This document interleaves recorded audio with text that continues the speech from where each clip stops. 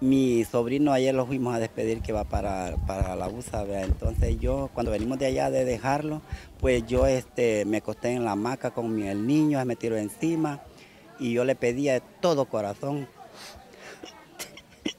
a la Virgen de Guadalupe.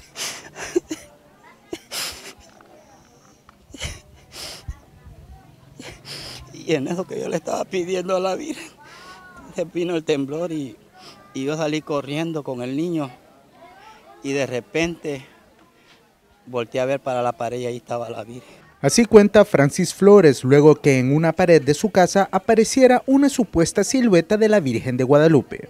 Y yo le dije a mi sobrina, mira que ni le dije yo la Virgen de Guadalupe y mi sobrina gritaba y decía que sí que era la Virgen y fue que ella se hizo el gentillar y vino la gente y, la Virgen. ¿eh?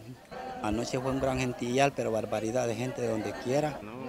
Vino bastante gente y ahora pues vamos a hacer este, la misa a las 7 de la noche y luego este, lo vamos a quedar en vigilia. Luego del acontecimiento, muchos vecinos de la zona del cantón Guadalupe La Zorra, en San Luis La Herradura, La Paz, se han acercado a ver la supuesta aparición y le han levantado un altar donde le rezan y le cantan a la figura.